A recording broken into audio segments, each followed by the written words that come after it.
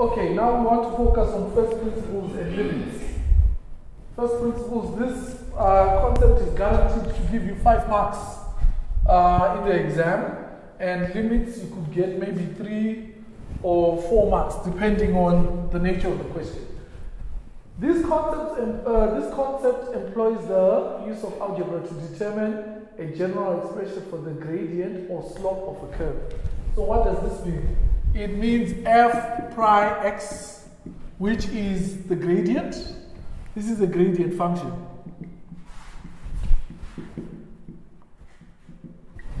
Can be found by saying the limit as h approaches zero. This means approach as x uh, as h approaches zero.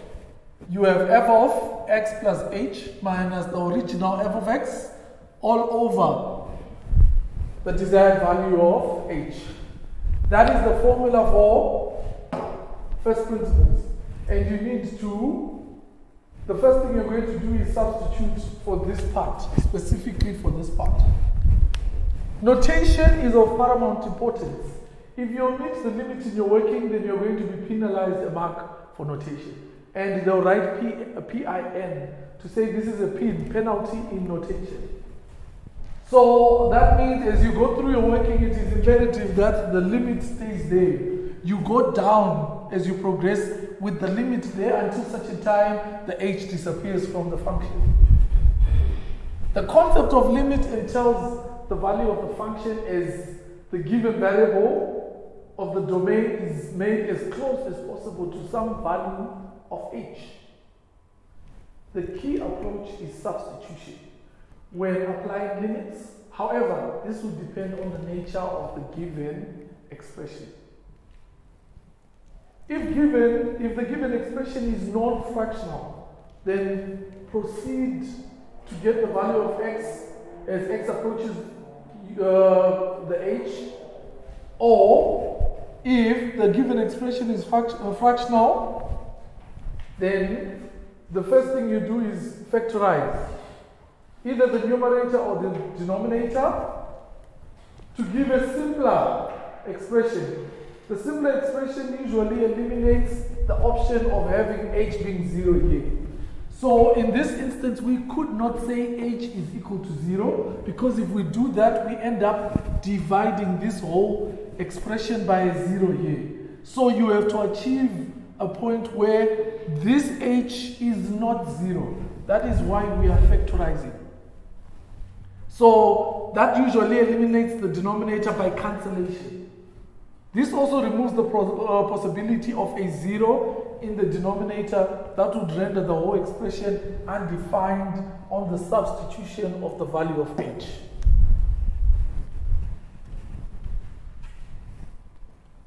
So our first approach is to look at exam type questions on limits. Exam type questions on limits, as you can see, the range of marks varies from 3 to 5. So I'm about to demonstrate how to do it. Question A. Use limits to differentiate the following. Use limits to differentiate the following. So limit as x approaches 2 of x cubed minus 8 all over x minus 2 if you proceed to just substitute in that instance, you are going to get a an expression that is 0 in the denominator. Because as soon as you say x is equals to 2, you're going to get 2 minus 2, and you get 0 in the denominator. So that is a misconception. So misconception number one,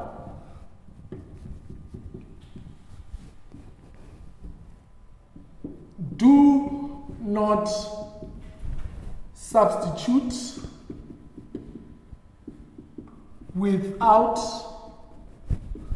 first factorizing. Do not substitute without first uh, factorizing. So the first thing you have to do there, there's no factorization needed in the denominator but in the numerator. This is a difference of two cubes. So limit as x approaches 2 you're going to get x minus 2 x squared plus 2x plus 4 all over x minus 2. The whole point of all this factorization is to ensure that you have cancellation. We talked about it right here. This eliminates the denominator by cancellation right here. So it eliminates eliminates the denominator by cancellation. And that is exactly what is going to happen. The denominator x minus 2 is going to cancel this one. And as soon as you do that, in the next step, limit as x approaches 2, you are now left with x squared plus 2x plus 4. Since there is no longer the possibility of having a denominator that is 0, you then say limit. x is no longer just approaching 2. x is now equal to 2. So that means you are permitted to now do substitution. That means limit as x is equals to 2 is 2 squared plus 2 times 2 plus 4. And the limit, because we no longer have the approach, there's no need for limit. The limit disappears and we're left with 4 plus 4 plus 4. Answer 12. That is how you solve the first question there. The main objective of all this was to ensure that when we do eventually substitute x is equals to 2, we don't have the possibility of the denominator being 0. We do not have the possibility of the denominator being 0. That's why we're calling it a misconception. Do not substitute without first factorizing, especially if it's in the fractional format. This is the answer to question A. This is the answer to question A. So let's proceed to do the second one. Part B, we have limit as a x approaches negative 2 and we have x squared plus 3x plus 2 all over 2 plus x. Remember the misconception. Do not substitute without first factorizing. So that means if you had attempted to substitute straight away, you're going to get 2 minus 2, which would render a 0 in the denominator. That is unacceptable. So always start by looking for something to factorize. In this instance, we would have to factorize the denominator. So this means next step limit as x approaches minus 2, you're going to get x plus 2 and x plus 1. x plus 2 and x plus 1. Here it was deliberately written as 2 plus x, which is literally the same as x plus 2. You are going to see that you can literally cancel this and that. Those two will cancel each other out and we are left with, in the next step, limit x. Once we remove this, you just say x equal to minus 2. Then you have minus 2 plus 1. Final answer minus 1. That is the limit. That is the limit.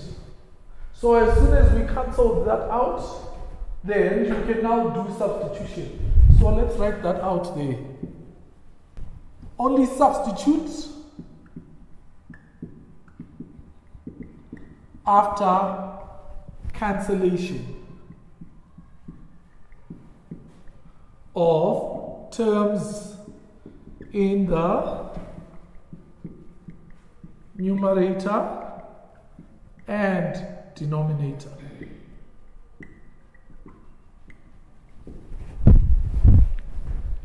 That's the second one.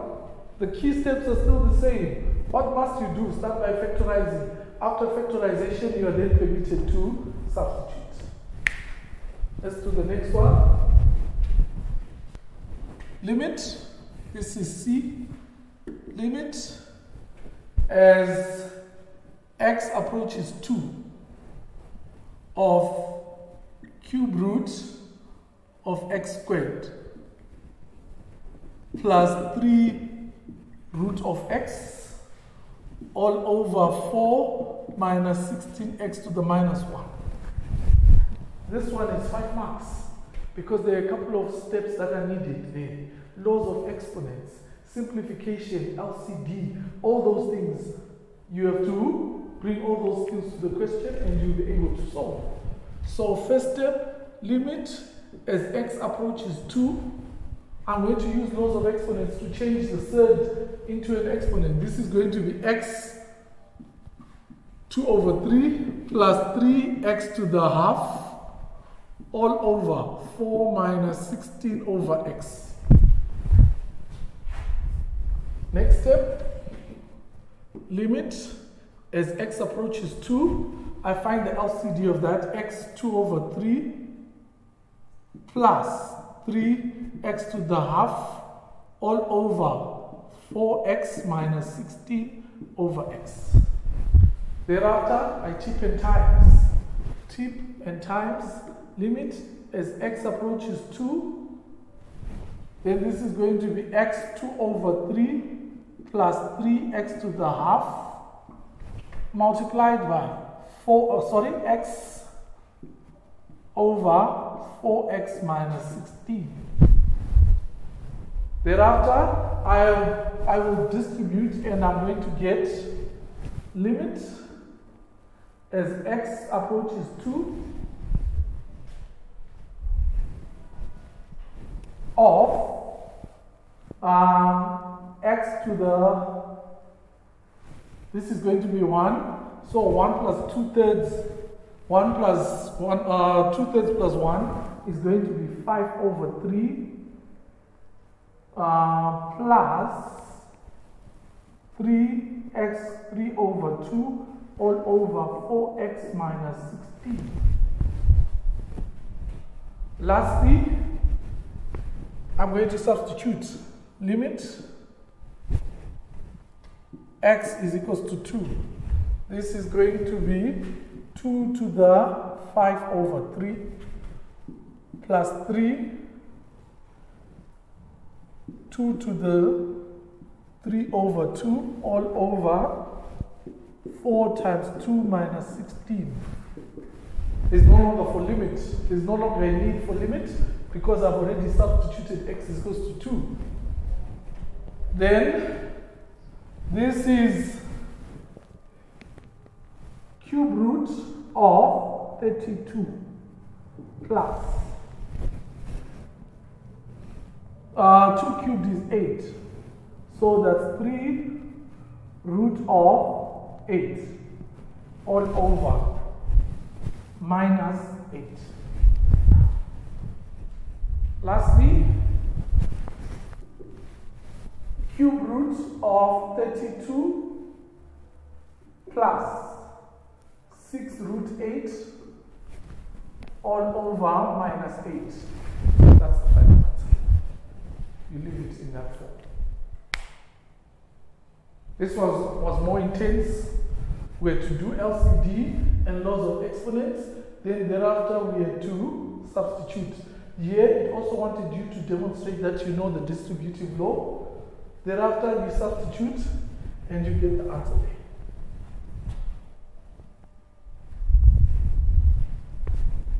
Next one, we've got D.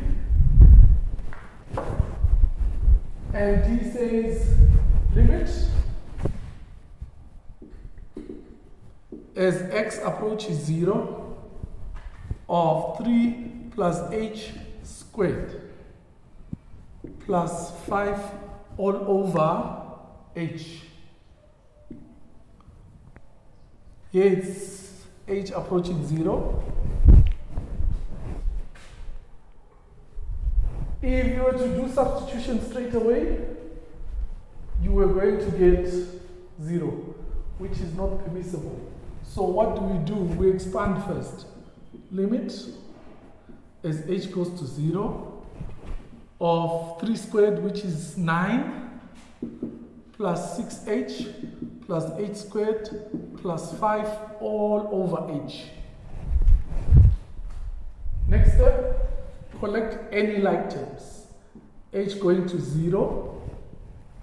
9 and 5 is going to give us 14 plus 6h plus h squared all over h. Next step, limit as h goes to 0 of 40 over h plus 6 plus h. This lastly is just going to be limit h is now equal to 0. That will give me 6. Final answer 6.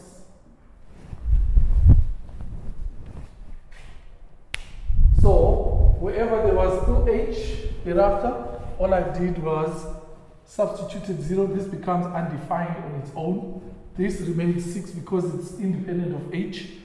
This one is 0, so it's really down to 6 plus 0. The limit remains 6. What is key there is to first use the distributive law there. That is key. Then the second step is to break it up because the denominator is a monomial term, it's a single term. So this single term is going to divide into everything that was in the denominator, in the numerator. So h divides into 14, h divides into 6h, h divides into x, uh, h squared. Thereafter, you substitute h approaching 0, and the answer comes out.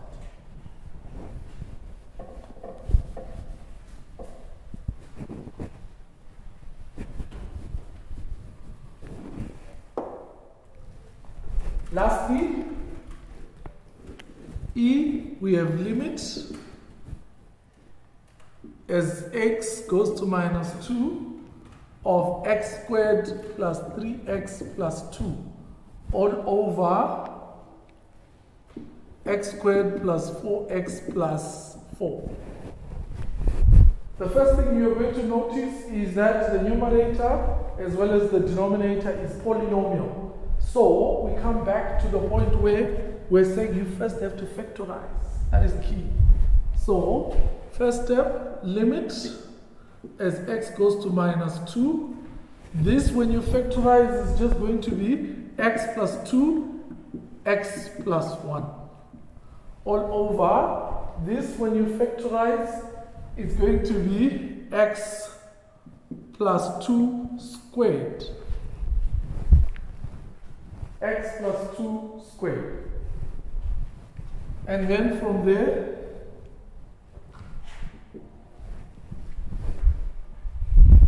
this is going to cancel.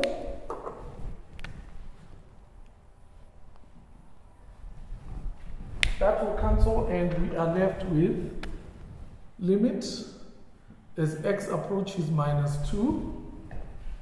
This cancels that, but not all of it. This was squared. So we're left with x plus 1 over x plus 2 x plus 1 over x plus 2. Lastly, because we have cancelled, we still have the scenario whereby if we substitute minus 2, it's going to be 0 there. So the limit of this is undefined. The limit of this is undefined. There's nothing we can do further to that. So what are the key steps? What are the key steps when you're dealing with limits? What are the key steps? In, sum in summary, what must we look out for? Here's what we ought to look out for. I'm going to write down a flow chart.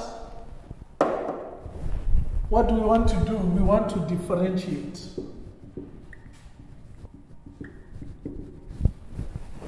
Is it a single linear term?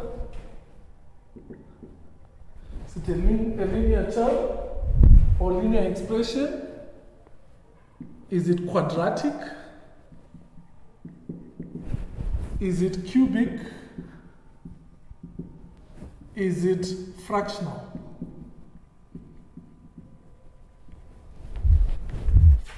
If it were fractional, then all you need to do is factorize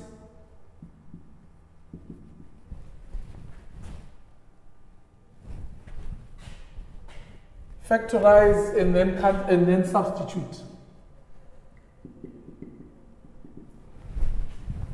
What is fractional in this case? The aspect, uh, the whole term, the whole expression is fractional, so we usually factorize denominator and or numerator.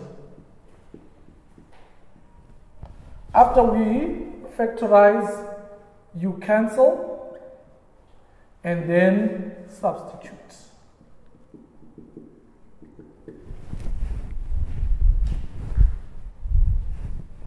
These ones, if it is linear, quadratic, and so forth, all you do is substitute